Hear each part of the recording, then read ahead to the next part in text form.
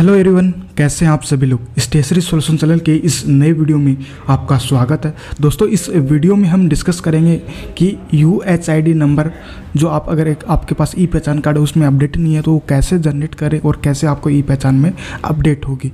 और वो क्यों इंपॉर्टेंट है, वो पूरा इस वीडियो में हम डिस्कस कर रहे हैं। दोस्तों, अगर आप हमारे चैनल पर नए हैं, अगर अभी तक आपने चैनल को सब्सक्राइब नहीं किया, सब्सक्राइब ज़रूर कीजिए।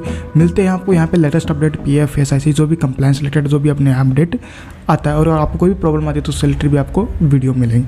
दोस्तों, यहाँ पे आपको ई पहचान कार्ड होगा। ई पहचान कार्ड में आपको यहाँ पे दिखाई दे रहा है U H I D number जो बिलिंग का यहाँ पे अपडेट नहीं है। जब आपने एस आई सी डिस्पेंसरी गई तो आपको एस आई सी वालों ने बेनिफिट देने से मना कर दिया क्योंकि आपका U H I D number update नहीं था। तो आपको ये नहीं पता कि U H I D number क्या होता है।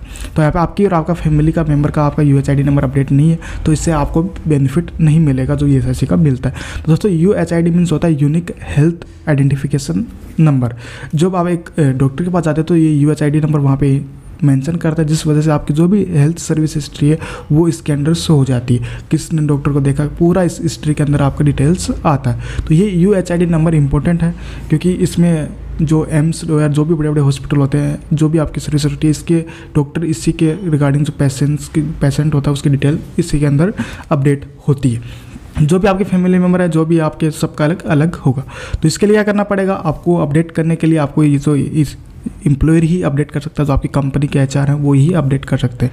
तो आपको जाना है अपने एम्प्लॉयर के पास। अब एम्प्लॉयर के पास जाने के बाद एम्प्लॉयर कैसे अपडेट करें? क्योंकि एक नई चीज़ है, किसी को नहीं पता। तो एम्प्लॉयर अपना जो आई पी एम्प्लॉयर पोर्टल लोगे ना वो ओपन करेगा।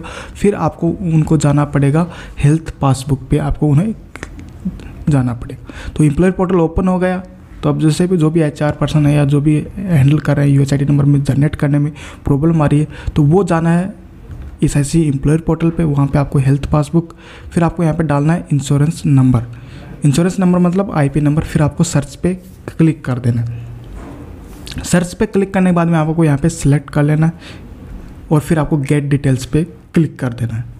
गेट डिटेल्स पे क्लिक करने के बाद में आपको दिखाई दे रहा है, जितने भी आपके आईपी के अगेंस्ट जितने भी मेंबर ऐड हैं तो सबका डिटेल आ रहा है। अगर किसी का तीनों में से किसी का भी जनरेट नहीं है तो आप वन बाय वन करके आप एक को सिलेक्ट कर सकते हैं। तो सभी को मैं एक आपको प्रोसेस बता रहा हूँ तो जैसे मेंबर का ही है, वो यू एच नंबर अपडेट नहीं है तो उनको सिलेक्ट कर लेना, फिर इश्यू पे क्लिक कर देना है। फिर यहाँ पर दिखा रहा है जनरेट यू एच नंबर तो इस पर क्लिक करना है। Generate U H number click करते ही आपका जो यू एच नंबर है, वो जनरेट सक्सेसफुली हो जाएगा।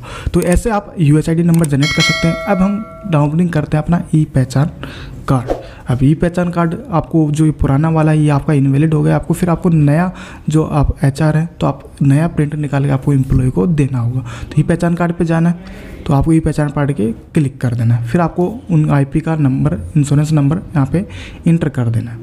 और फिर आपको व्यू पे क्लिक कर देना है। व्यू पर क्लिक करते आपको व्यू काउंटर फ़ाइल आपको ऑप्शन आएगा। तो इस पर क्लिक कर देना। फिर आपको देखो यहाँ पे U H I D number update हो चुका है सक्सेसफुली तो अब आसानी से आप, आप एक एच आर में या एक जो भी कंसल्टेंट हैं तो आप आसानी से U H I D number generate कर सकते हैं। और जो इम्प्लॉय को प्रॉब्लम आ रही है हेल्थ बेनिफिट लेने में तो वो आसानी से ले सकते हैं देखो, यहाँ पे अपडेट आ गया, जो हमारा पहले वाला था उसमें ये अपडेट नहीं था।